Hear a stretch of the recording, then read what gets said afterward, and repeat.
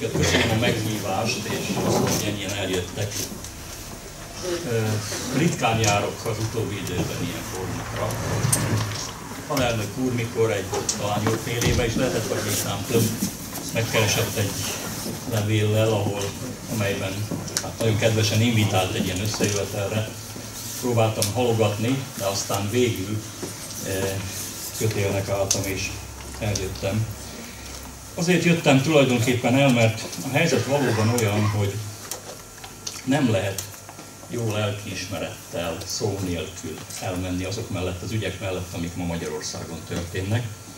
Én most elsősorban a saját területemre, mezőgazdaságra, vidékre, földügyekre gondolok, de amiről beszélni szeretnék, ez nem csak a vidék problémája, ami itt történik Magyarországon, ez súlyos fenyegetés az egész nemzetre. Példák vannak előttünk, Dél-Amerika példáján látjuk. Hova vezet az az út, ami most körvonalazódni látszik. Mi van akkor, hogyha a tőkeérdekek átgázolnak az értékeinken, azokon az érték, emberi értékeken, amelyek nem piaci kategóriába tartoznak. És ma azt tapasztaljuk, hogy mindenen átgázol ez a fajta profitvezérelt tőkeérdek, nagy bajban lesz ez a nép, hogyha ezen nem tudunk úrrá lenni. Ezért azt gondolom, hogy minden alkalmat, amikor szót tudunk váltani, lélektől lélekig meg tudjuk beszélni a dolgokat, ezeket az alkalmakat muszáj kihasználni, még akkor is, hogyha valóban elég nagy trauma volt számomra, ami történt. Én magam, ha tudom, hogy ez történik, bizonyára bele sem vágok. Nem ezt gondoltam, hogy ez lesz belőle, és hittel álltam oda egy társaság mellé annak idején, amit Fidesz KDNP-nek hívtak. Hitelesnek tűnt az is, amit a miniszterelnök személyes beszélgetésben elmondott. Úgy gondoltam, nem a portással állapodtam meg, tehát talán valamelyes garanciát gondoltam a mellett, a program mellett, amelyet együtt dolgoztunk ki. 2005-ben itt találkoztam is kedves kollégákkal, akik ott voltak a Kossuth téren, és azóta is folyamatosan közösségekben együtt dolgoztuk ki ezt a programot. Mondhatom nyugodtan, hogy teljes a konszenzus e programban, és azt az ajánlatot kaptam annak idején, hogy ha már így együtt ez a program, akkor próbálják megvalósítani. Ezzel nem lehetett kitérni. Ezen magában nem volt nekem semmiféle politikai terepen részt venni, de hogyha egy ilyen ajánlatot kap az ember, látva a vidék nyomorúságát, látva, ami körülöttünk zajlik, és azt a végveszélyt, ami körülvesz bennünket, nem lehet jó lelkiismerettel azt mondani, hogy nem. Úgyhogy igen, körülmények közt vállaltam én szerepet, és valóban, amikor úgy tűnt, hogy és aztán egyre inkább igazolódik, hogy pont ellenkező dolgok történnek, mint ami, amit megállapodtunk, mint amit én néppárti programnak gondolok valóban, akkor muszáj volt fölállni. Nem lehet asszisztálni a disznósághoz. Nem lehet hallgatni sem. Nem, hogy részt venni benne. Úgyhogy ilyen indokokkal hagytam én ott ezt a politikai terepet. Kettőt hátra léptem, mondom így is, tehát elég ritkán szerepelek, ha látják, és próbálom rendezni magamnak is a dolgokat, dokumentálni azokat, amik, azokat az ügyeket, amik történnek körülöttünk. Ez elsősorban ma még a földügyekre, vidékre vonatkozik, de hát itt beszélgettünk itt, hogy sok olyan történet van itt, amit jól dokumentálni, hogy amikor majd eljön az igazság pillanata, mert el kell jöjjön az igazság pillanata, akkor legyen igazság És valóban a tények alapján, igaz beszéddel vonjuk felelősségre azokat, akik ide juttattak a dolgainkat. No, ennyit talán bevezetésképpen szabad volt elmondani. Aki a Föld, azért az ország. Nem tudom, hogy kicsit kicsi ez a képernyő, és nem tudom, hogy látszani fog-e valami.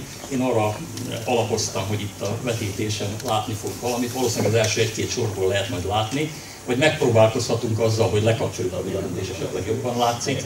E, e, tehetünk egy ilyen próbát is.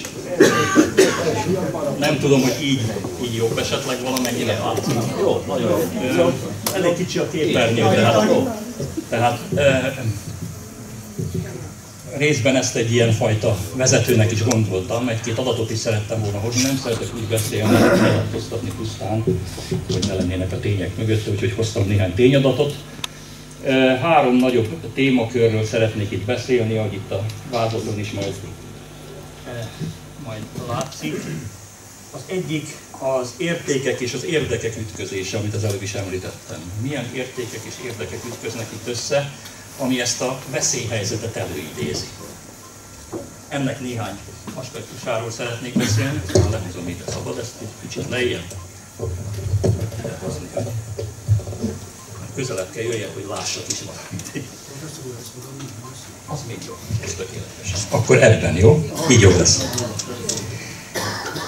Tehát a háttérről, azokról az értékekről és érdekekről szeretnék beszélni, ami össze, egymásnak feszül ma Magyarországon. Mi az a két oldal, ami itt küzd, és szeretnék erre példákat hozni, hogy kik hol állnak ebben a úgy mondjuk modern kétpártiságban kortentől véve ezt a kifejezést.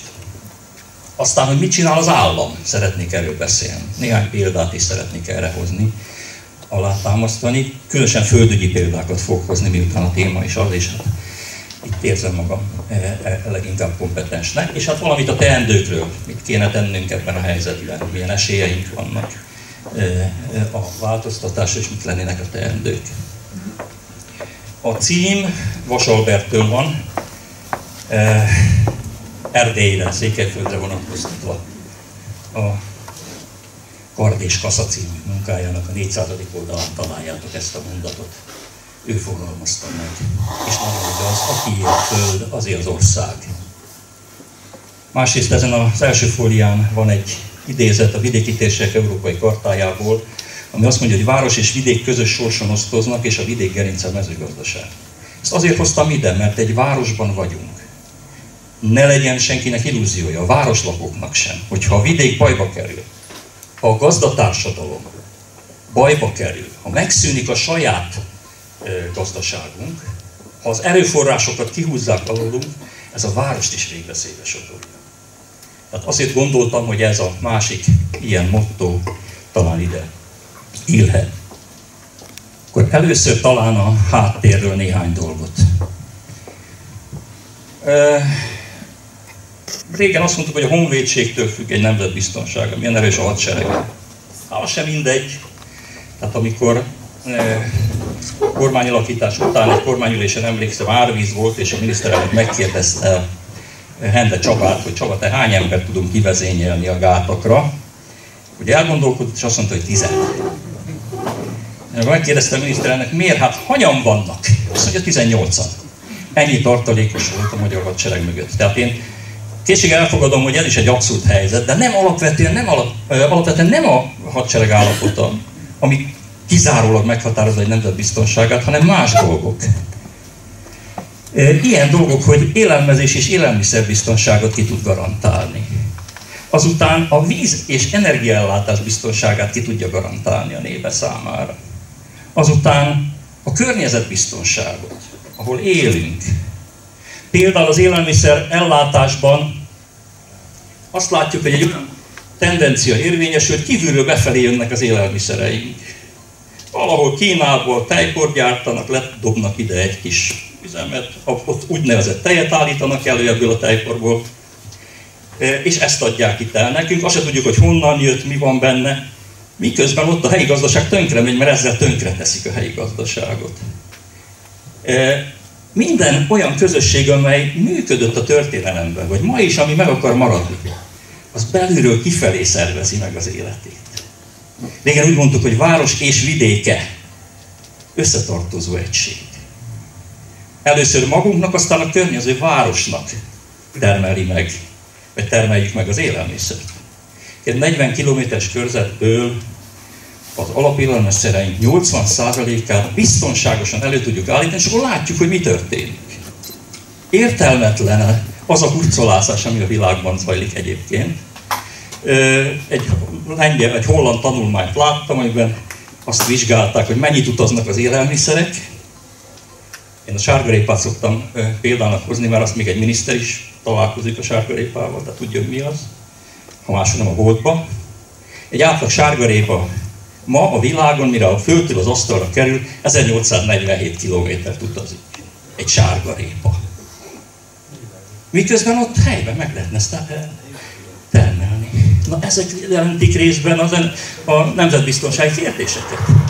És egyre inkább ezek fogják jelenteni. Na most ehhez kapcsolódik, hogy a természeti erőforrások rendszerek állapota, használata és birtoklása az, ami eldönti, hogy egy nemzet biztonságban van-e vagy sem, és egyre inkább ez fogja eldönteni. A vízbázisok, az ökológiai rendszerek tartoznak ide. Azután az energiahordozók, ásványkincsek, a kezében vannak. És a termőföld különösen. Magyarország is 80%-a a területeinknek az a mező és erdőgazdaság által érintett. Tehát, hogyha a földet nem tudjuk megfelelő állapotban megőrizni, akkor nem fogunk tudni élelmiszert sem megfelelő módon előállítani. Meghatározó erőforrás tekintetében a föld. És itt a kérdés az, hogy kinek a kezében van, és milyen állapotban van ez az erőforrás.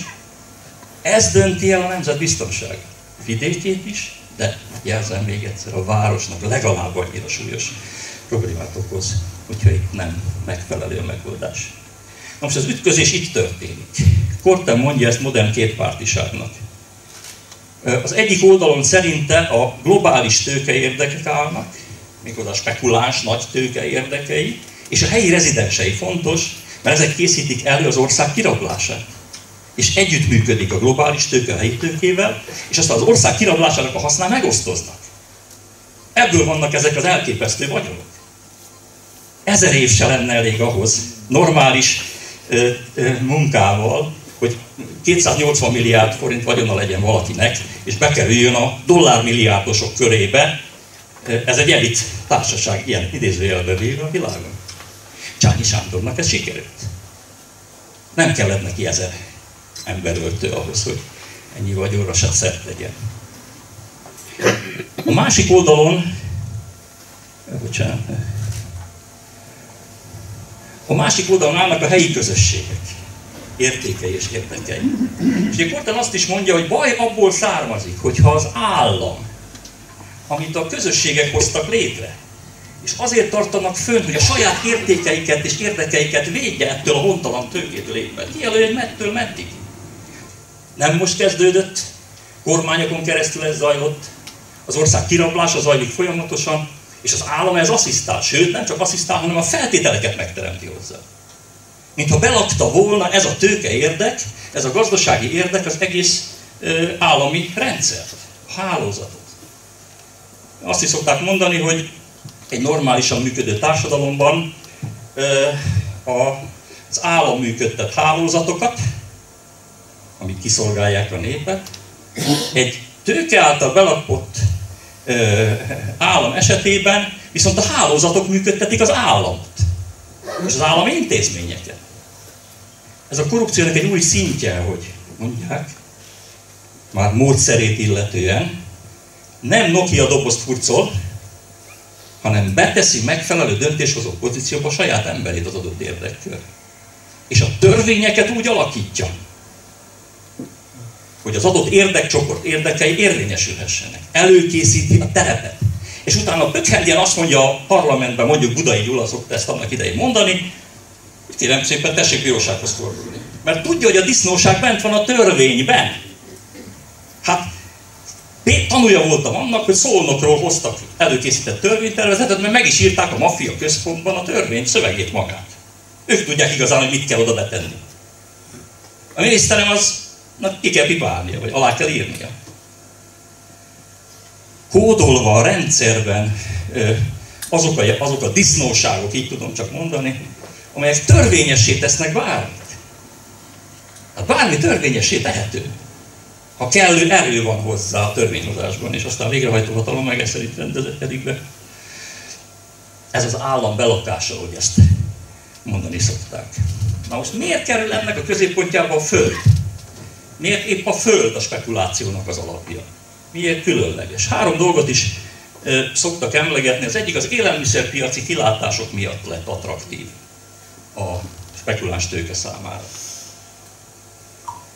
Ugye egy könnyen kiszámítható egy növekvő emberiség esetén, növekvő élelmiszerkereslet esetén, az erőforrások végesek, a föld az egy zárt rendszer, bizonyos mennyiség termelhető, és ahogy nő a kereslet, úgy az árak exponenciálisan növekednek, aki az erőforrásokat megszerzi, amivel elő lehet állítani ezt az élelmiszert. Erre a növekvő keresleti piacra az elképesztő hasznot fog egy idő után ebből realizálni. Extra profitra tesz szert, és erre spekulálnak is. Ez az alapja a világon zajló landgrabnek, földrablásnak is. A világon zajlik ez a folyamat. Tehát e, talán azt lehet mondani, hogy Magyarország egyik kiemelt pontja lett lassan ennek a landgrabnek, mert eddig Afrikában zajlott elsősorban. E, ezer hektár, meg százezer hektár számra vásárolta föl például arab tőke az afrikai szegény országok földjeit. Ilyen megfontolás. A másik spekulációs szempont maga a földpiac. Nyomottak az árak Magyarországon, most ugye a földliciteknél látjuk, hogy körülbelül mi az az ár, ami, ami a kikiáltási ár, és aztán mennyi a licitár. Nagy különbség nincs, mert nem mernek oda menni se licitálni, illetve olyan összegekért kínálják a földet, hogy egy normális család nincsenek 10-20-30-50 milliós tartalékai arra, hogy most itt földet vásároljon. Örül, ha megér. Tehát a gazdálkodó családok nincsenek abban a helyzetben, majd mutatok adatokat erre. Mégis valamivel magasabb a licitár átlagosan, amit én itt vizsgálgattam, mint a földár, de azt lehet mondani, hogy 1 millió forint körül van. Mondjuk Fejér megyében. Én azt, ezt a példát meg, meg is mutatom, hogy a Fejér megyei földekkel például mi van. Tehát kik vették meg, hogyan, és mi olyan 800 ezer és 1 millió 500 ezer között mozog, hát mondjuk legyen 1 millió forint ez a földár. Ausztriában, ha átmegyünk a túloldalra, ott 10 milliónál kezdődik, ha van egyáltalán föld. Mert nincs. Mert nem engedik ki a közösségből azt az erőforrást. Ha valaki már nem tudja megművelni, a szomszédja azonnal megveszi, elrendezik egymás között, oda be nem fér senki, de a franciáknál sem máshol sem. Tehát bent marad a föld a közösségen belül, és a föld haszna akkor ott marad a közösségben. Azt erősíti, a helyi gazdaságot erősíti. Na ezért magasak a földárak Nyugat-Európában. 10 és 25 millió forint között látom ma a földárakat, itt 1 millió. De Kelet-Magyarországon lehet venni 200 ezerért földet. Tehát ugye ez a fajta 10-20-50 szeres adott esetben föld árbeli különbség egy liberalizálódó földpiacon, amire spekulálnak, egy kiegyenlítődő árak esetén egy belátható időn belül elképesztő hasznot ígér annak, aki megszerzi a földet. Ez a spekulációnak az egyik motorja, a mozgató eh, ereje. A harmadik ilyen dolog az, az a támogatások ügye. Eh, az európai közösségben működik egy támogatási rendszer, ami a földhöz kötötten normatív támogatást ad, tehát akinek földje van, az automatikusan kap támogatásokat. Akkor is, hogyha gyakorlatilag mondjuk zöldugar tart, tehát kétszer lekaszálja, költség alig van, és kapja 70 ezer forintot hektáronként. Plusz, hogyha valamit még csinál is, akkor annak a haszna is megvan. Meg ha gazdálkodási rendszereket alkalmaz, akkor arra még támogatást kap. Meg a fejlesztésekhez, amik a földhöz kapcsolódnak. Külön támogatást kap vidékfejlesztés címén. Tehát itt nézegettem éppen, hogy nem tudom, a Csányi által megszerzett, a Bonafant csoport által megszerzett ilyen támogatások, meghaladják a 200 ezer forintot hektáronként, ha most földre vetítem. Hát ez már egy olyan összeg, amiből ha nem csinálok semmit is meg lehet szépen élni, de 70 ezerből is, mert valaki kap 100 ezer hektárt az államtól, mint hogy bérletre meg is kaptak sokan, vagy 100 hektárt, eh, ugye az 7 millió forint, tisztán az egy eh, magyar fizetési viszonyok között egy kiváló eh, havi átlagjövedelmet jelent, amiből meg lehet élni.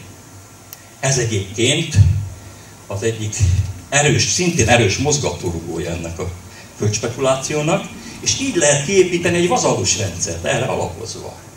Mert akinek juttat a közösből az állam, az aztán ugye hűbérese lesz, ahogy szokták mondani, hűbéri birtokadományozás a királynál is volt régen, ez a középkor. Így kötelezi le az embereit, például a támogatásokon keresztül, de a nagy tőke pedig erre spekulál. Tehát az az összeg, amit így meg lehet szerezni, az, az komoly összeg. Mutatom is, hogy körülbelül mennyit visznek el. Ezek az adatok aztán megjelentek már itt-ott. Tehát most anélkül, hogy részletezném, Csányék, Nyergesék, Simicskáik, Leistinger és a többi a hét legnagyobb tőkeérdekeltség Magyarországon. A, ezek a kérges tenyerű gazdák az én miniszterem szerint, bankárok és építési vállalkozók és hát csodák.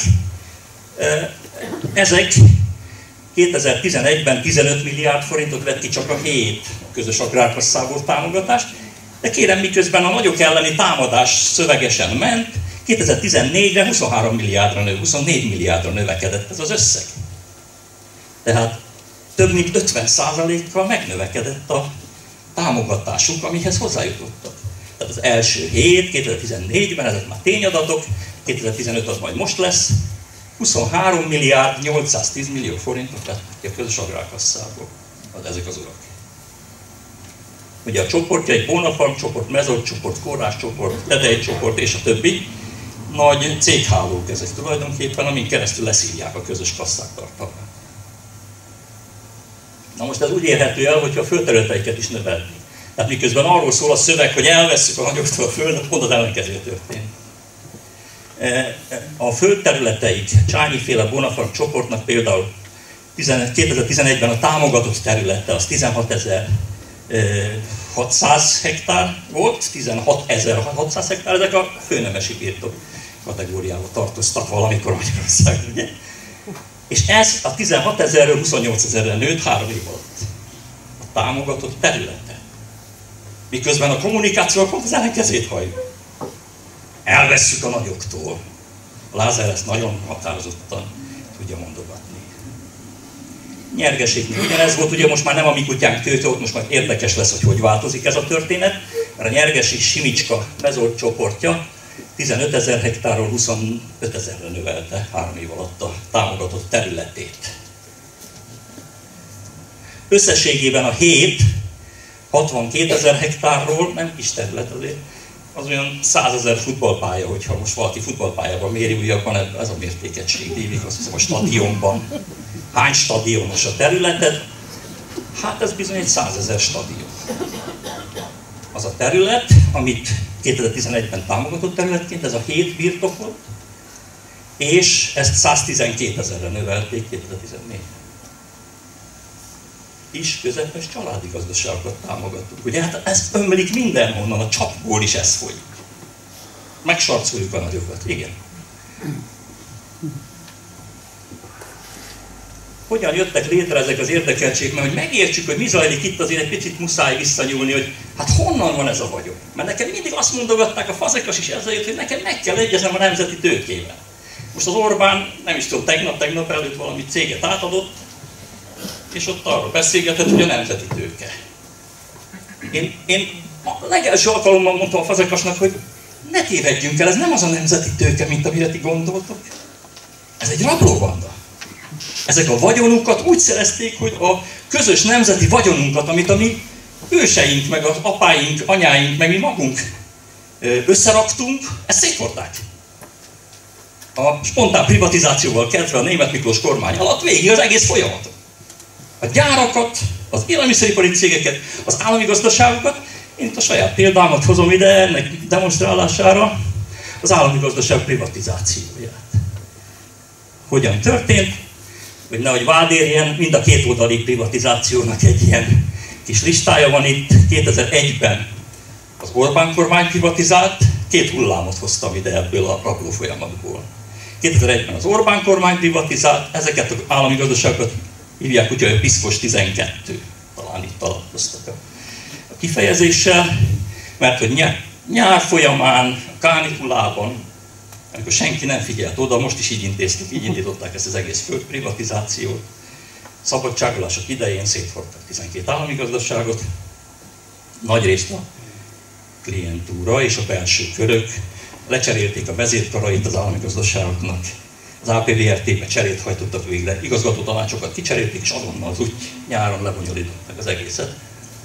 Ez az első, vagy első Orbán kormány idején tehát 2001 nyarán történt. A módszer tehát nem ismeretlen, ami most zajlik.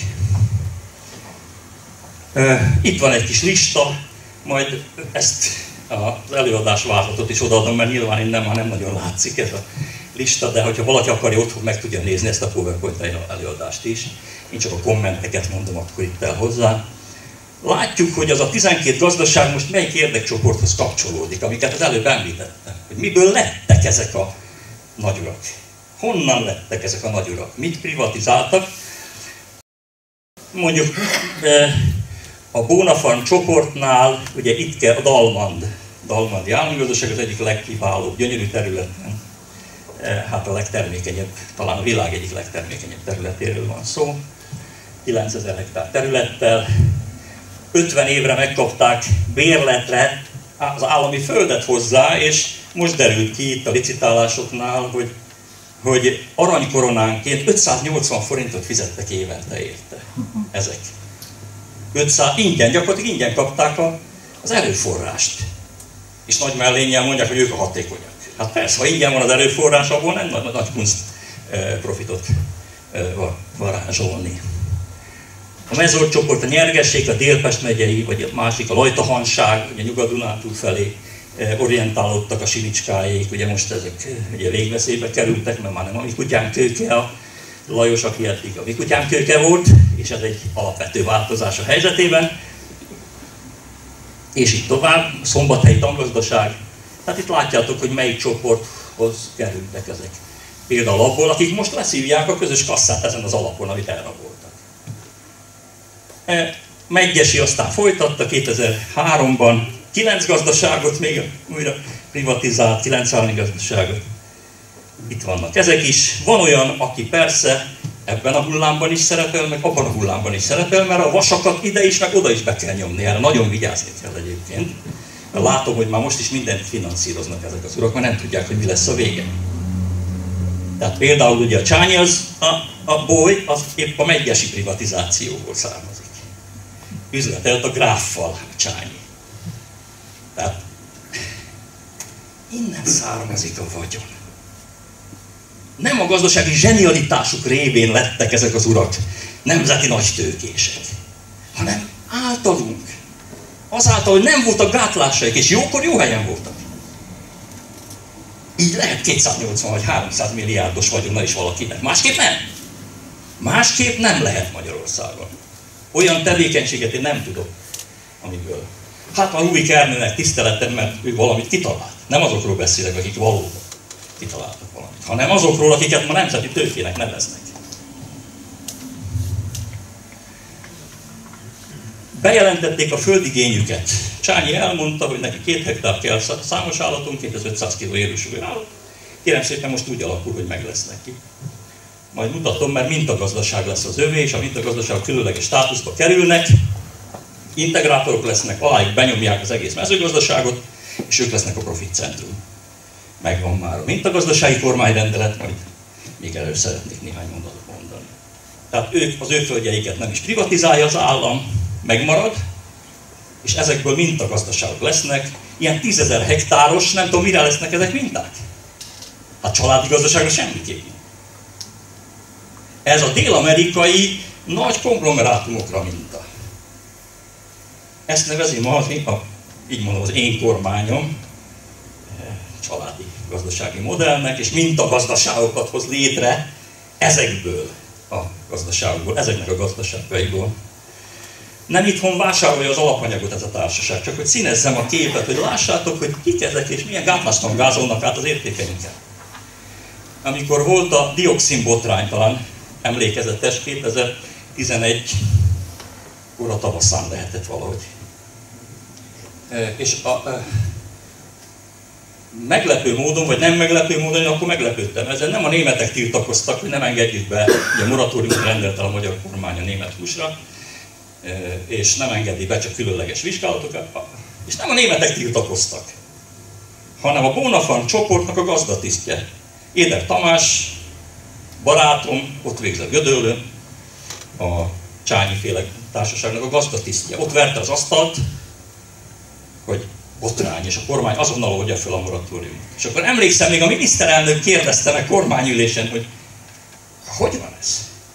Ugye az nem lehet, így mondta, még előttem van, a, a, a, hogy gesztikulál. Az nem lehet, hogy a nemzeti tőke, a hungarikum termékeket, mert a PIK az ehhez a csoporthoz tartozik. Lehet, hogy nem magyar alapanyagból állítja elő? Akkor hogyan lenne itt állattenyésztés? Ez botrány, és akkor megkaptam a feladatot, Fazekas nem volt itt, tehát én intéztem ezt az ügyet, hogy gyűjtsük már össze, hogy miből dolgoznak ezek az húsos cégek. És 151 néhány cég került erre föl erre a listára, akik részben vagy egészben nem magyar alapanyagon dolgoztak. Akik teljesen idegen vagy, hogy van-e itthon foglalkoztatás, vagy nincs. Mert őket nem érdekli, azt mondják, azt intézzel az állam. Az nem az ő dolguk. Nekik az a hatékonyság a fontos, egy forint befektetése mennyi a haszon. És hogyha 10 eurócenttel kevesebbé meg tudja Németország venni, akkor ott fogja megvenni. Fütyül arra, hogy mi van itt. Na ilyen a nemzeti tőke, azért mondom ezeket. Ezt, ezt nevedik a nemzeti tőkének. Nem foglalkoztat. Szemben a kommunikáció. Azt mondják, hogy ez foglalkoztatást hoz létre.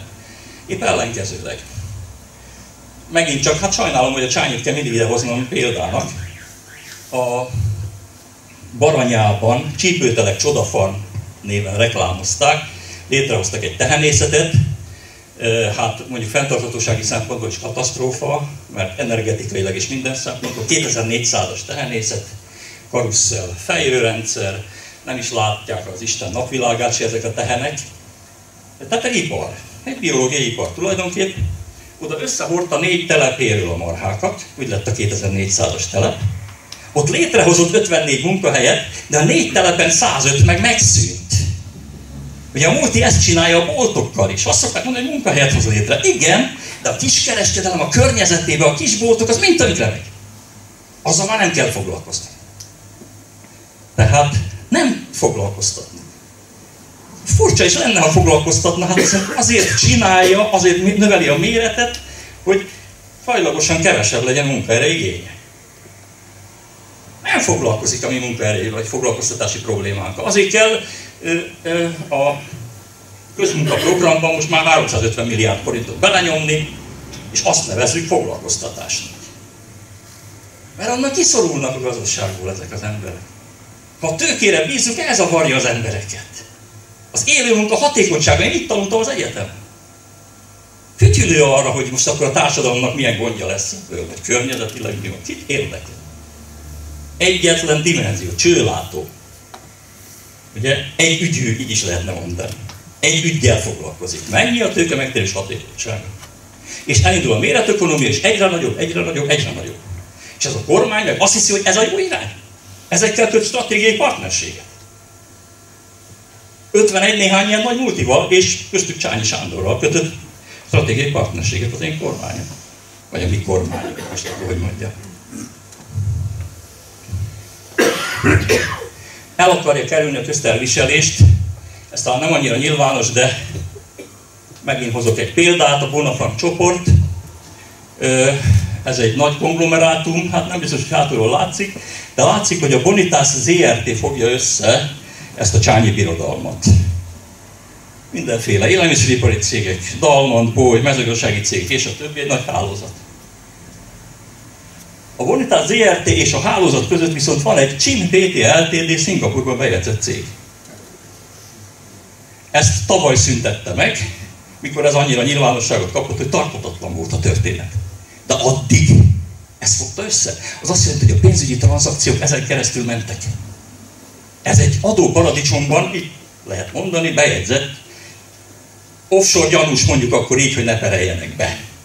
Offshore gyanús cég aminek az a lényeg, hogy ne kelljen adózni, a közös kasszában ne kelljen befizetni. Jobb, hogy is profit lesz. Egy ilyen cég fogja össze, vagy fogta össze még egy évvel ezelőtt. A nemzeti tőke, magyar népér és nemzetér elkötelezett nemzeti tőke eh, vállalkozásainak a csoportját.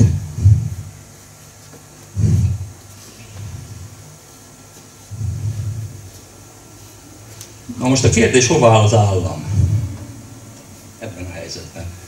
Mert ugye vannak a közösségek, és azok hozzák létre az államot. Hát mi tartjuk fenn az adóforintjainkból?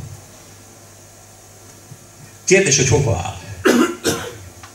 Én még egyszer megismétlem, úgy látom, hogy az állam, a közösségek állam, aminek a közjót kéne szolgálni és védenie, az átállt a tőke oldalára. Ezt a háborúba dezertálásnak hívják, aminek hát komoly következményei vannak ott. Ki tudja, hogy itt lesz-e ennek komoly következménye. Minden esetre a stratégiai partnerségi megállapodások például ezt mutatják, hogy pikkel köt. Annak idején abba állapodtunk meg, hogy a családokkal és a helyi közösségekkel kell szövetséget kötni, és az a legstabilabb a helyi kis közepes vállalkozások és a közösségek, a családoktól a nagyobb közösségek felé. Azzal kell stratégiai partnerséget kötni egy néppárti politikának és államnak. Ennek az ellenkezője történik, a másik oldal szereplőivel köti meg a stratégiai partnerségi megállapodásait. Törvényhozásban ezt arra talán nincs idő, hogy részletesen elmondjam, de három példát csak fölemlítek. Az alaptörvény földügyi módosítása mutatja ezt a törekvést. Ott fogalmazta meg ezt az integrációs törekvést, hogy tudnik nem szövetkezeteket hoz létre, mint amiben megállapodtunk, mert Nyugat-Európában a családi gazdaság azért tudnak kis területen megélni, mert bizonyos dolgokra összefognak, szövetkezetet hoznak létre beszerzésre, feldolgozásra, értékesítésre. Sőt, fogyasztási, termelői, fogyasztói szövetkezeteket is létrehoznak, és így a teljes vertikum haszna visszaosztódik a családhoz, aki létrehozta, a családokhoz. Ma Magyarországon a teljes vertikum jövedelmének kb. 10%-a jut el a családokhoz. Hát ezért kell akkor a gigantikus terület. Azt mondják, hogy nem lehet kérem itt nálunk megélni annyiból. Persze, mert kiveszik a hasznot belőle. Ausztriában 34 hektár a átlagos birtokméret. 34. Franciaországban most mondok egy másik példát, nagy birtok mérete. A nagy, a felső 20%-nak az átlag mérete 274 hektár. Tessék ezt az adatot legalább rögzíteni. Mert akkor látjuk, hogy milyen birtokokat szereznek itt az urak, és ez hol van az európai rendszerhez. De ott szövetkezés van. És visszaosztás van. Itt az alaptörvény módosításánál maga Orbán hozta be, nagy zavartanak. Frakcióülésen volt egy kemény vita, és tulajdonképpen ezen ütköztük leginkább össze az integrált mezőgazdasági termelésszervezést, ami azt mondja, hogy nagy tőke érdekeltségeknek odaadjuk az egész mezőgazdasági integrációt, azok fogják majd össze a termelést, feldolgozást, értékesítést, az egész vertikumot, koncesszióba adjuk, így mondta nagyon idegesen, mikor felvetettük, hogy ez nem a szövetkezeti modell. Szóval majd odaadjuk koncesszióba. Ugye ugyanaz, mint a kaszinó. Ugye a, nagyon hasonló példákat lehetne mondani máshonnan is. Hogy ami jövedelmező, azt odaadjuk a havernak, egy tőke érdekeltségnek, hogy övé legyen a jövedelem, az állam meg hát valami díjat szedünk tőle. De nem érdekes, be kell fizetni. Látjuk az Andy Vajna mit fizet. Semmit. Semmit.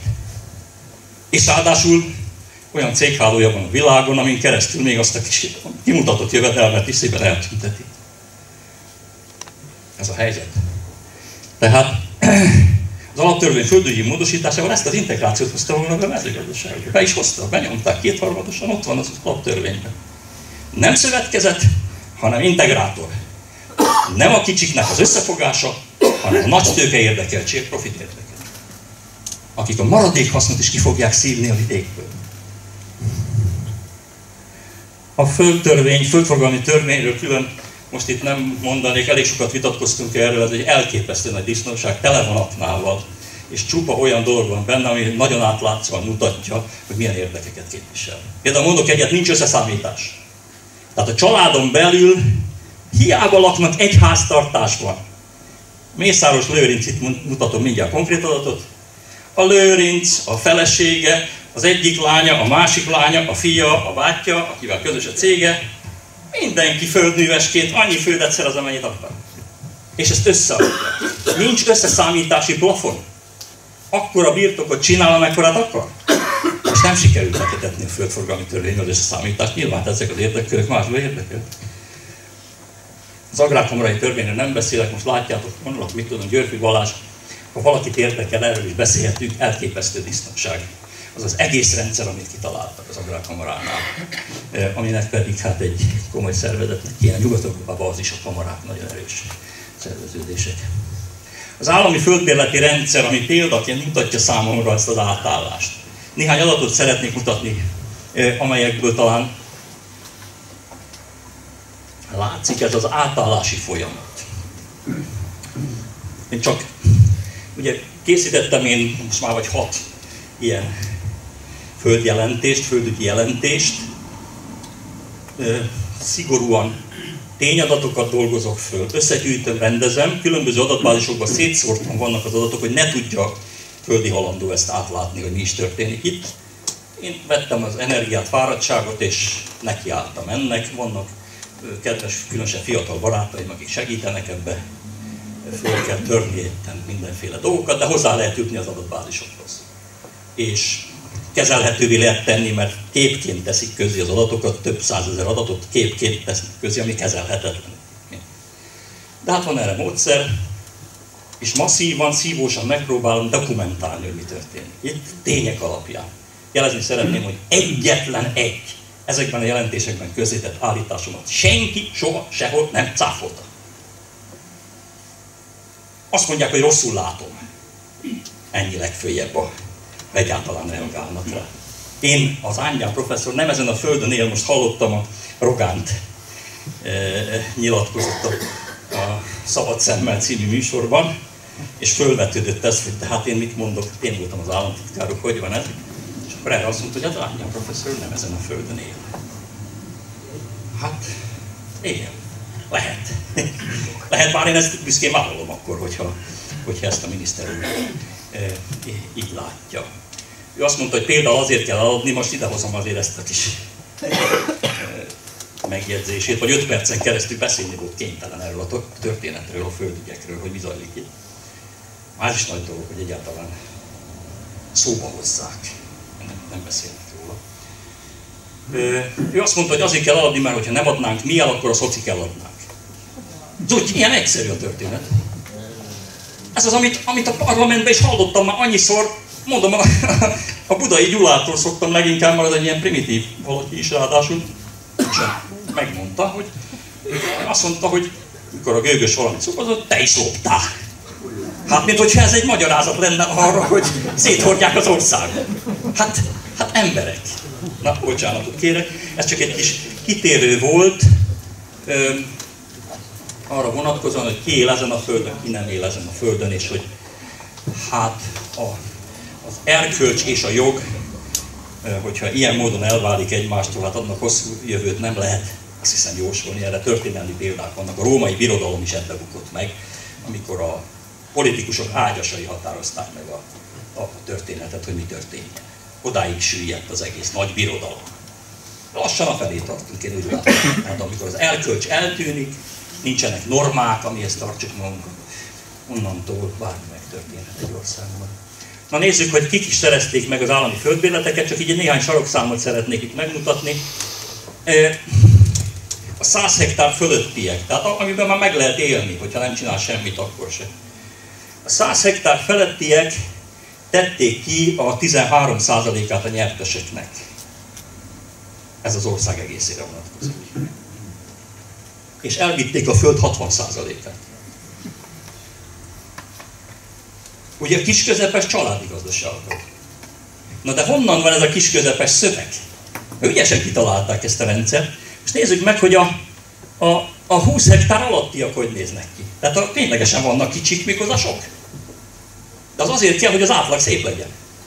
És ki lehessen állni a Tiszapartra egy kismamával, karján a gyerekkel, a Sanyi kiállt, és az könnyes szemmel mondta, hogy kapott három hektárt a kormányától, és milyen ő még sose kapott semmit.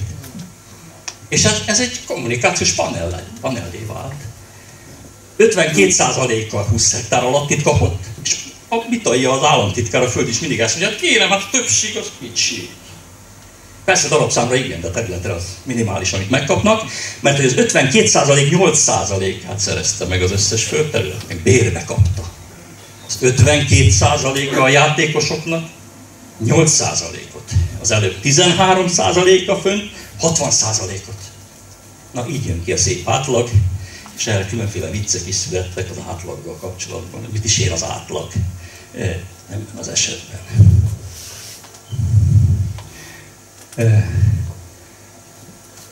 Nézd, egy-két nevet is idehoztam, hogy lássátok, hogy kik. Tehát a Csákvári ZRT vezérkara. Ott a családok szépen szétosztották maguk között. A két vezérigazgató, vagy a két vezető tisztségviselő, az Antalfi és a Zimmermann, családtagok között. Az Antalfi az a 80 év fölötti idős édesanyjára is szerzett bérelt földet, 20 évre kapta, 20 évre. 80, egy néhány éves a mama. Semmi bajom velem, mert hát nem is ismerem a hölgyet. Egy szeretett otthonban itt él Pesten. De Csákváron van lakás, vagy a 20 kilométeren belül. És kapott 185 hektár magyar almási szántót, a mama, bérbe, hogy majd ő műveli, mert ugye azt mondták, hogy Azért legyen a föld, aki megműveli. Hát hogy nem, mama biztosan fog művelni. Semmi problémám vele, de 80 év fölött azért ez egy elég ambiciózus terv. 20 évre vonatkozóan bérbe venni földet, hogy még 20 évig 185 hektár szántót megművelek, és akkor ehhez még, mert ez nem elég neki, több az energia biztos, kapott 54 hektár gyümölcsöst csákvár. Hát a gyümölcsösben van azért teendő, ahogy én, én ismerem, itt tanultam én is erről egy-két dolgot. Tehát így. Most vett egyébként földet is, majd mindjárt látjátok. Tehát még ráadásul vett is. Kapott bérbe egy rakás földet. Tessék, hát rendes hozománya van a hölgynek, úgyhogy ezek után már, hát ebből meg lehet élni bőven. Hát én ajánlom, férfiak, férfi társak. Lehet. A, a, a cégnek a jogásza és a többi szétírták szépen. A Zimmermannnak meg a székesfehérvári rokonsága. Bejelentették egy részüket a ZLT irodaházában, mint lakást, lakáscímre. Oda vannak bejelentve. És elvitte, kérem szépen, 1800 hektárt, bérbe állami földet, 31 darab birtoktestet nyertek. 31. Ugye amikor azt mondják, hogy eddig 600 művelte, most 6000, el ne tévedjünk, ez egy hihetetlen nagy svindli, amit itt csinálnak. Mert az nem 6000 család, mert itt 31-et vitt ez a társaság. Az nem 31 család, vagy ott van a harmadik helyen Mészáros Lőrinc és családja felcsútról, ők 25 darab birtoktestet kaptak bérbe, 1327 hektárt, az nem 20, 25 darab család. Egy, az egy család ennyi szerződéssel. Az mind, lehet, hogy külön családnak amelyik azt mondja, hogy a mészáros család, a mészáros, a mészáros, a mészáros, a mészáros, a mészáros kapta. Az mind család. Sőt, nekem azt mondták, hogy nem kell ezt összeszámítani, hiába ezek egy háztartásban élnek. Egy háztartásban élnek, azonos lakcímmel is tévedek, hogyha azt mondom, hogy össze kell számítani, mert nem egy érdekkör. Hát én a feleségem, én nem tudom ki, hogy van vele, de én azért a gyerekeim, a feleségem, hogy egy érdekkörbe számítom magam. Tehát lehet, hogy ez, ez egy nagyon elmaradott felfogás, és különösen jogi háttérrel érve, ahol a, a PTK-ra szokott a Budai hivatkozni, a PTK azt mondja, hogy ezek nem rokon. Hát lehet úgy átírni a PTK-t, hogy ne legyen rokon még a gyerekem sem. És akkor az a törvény. Nem igazságszolgáltatás, ebben igazuk van. Nem igazságszolgáltatás van, hanem a jogszolgáltatás van ebben az esetben. A jog meg azt mondja, hogy nem családtag. Tehát kész. Gorzsai cégcsopor az a Lázár Janinak a nagybátyja, a keresztapja. A héja testvérek az meg a név maga is mutatja. Különböző megyékből hoztam ide a ezer hektár fölöttiek közül. Példaképpen, hogy lássátok, hogy kik viszik a földet. A kis közepes családi gazdaságok kapják a, a földet. Pályáztatás nélkül is lehetett földet kapni, sőt lehet is. Csak a végét mondom, gazdasági társaságok a birtoktestek 63%-át vitték el, és magánszemélyek 25%-ot. De ott is vannak nagy birtokok is. Tehát még. Mert ugye azt mondták, hogy itt a tőkés társaságoknak nem adunk földet, de hogy szinte csak az van. Szinte csak az van, ha tényeket megnézed. Tehát az maga döbbenetes, az az élmény idézőjelbe, hogy hogy lehet úgy hazudni, hogy a szeme nem. Ezek a fiatal fiúk egyébként beletanultak ebben nagyon. Tehát hihetetlen, az ember megdöbben. Hogy pont az ellenkezőt mondja, mint tudja, hogy pont az, az ellenkezője az igaz. És nem zavarja. Nincs egy belső gátlása. Úgy mondják ezt, hogy használható gyereket. Mindenre. Karrier ígérettel, vagy vagyok ígérettel mindent végrehajtanak. Kérdés nincs, ellenvetés meg még kevésbé. Végrehajt, és megkapja érte a judáspénzt. Ez hűbéri birtokadományozás, nem tudom másnak minősíteni. Tehát a lekötelezésnek egyfajta rendszer, ez a középkor. Egy, hát 21. századi köntösbe beöltöztetve. Egyébként nagyon jól értenek ehhez. Tehát itt keresztény nemzeti szöveg alatt, ami megy, az döbbenetes, az ember sírva fakad, annyira egyet lehetne időnként érteni. Ha nem tudnád, hogy mi van. A tény nem zavarja.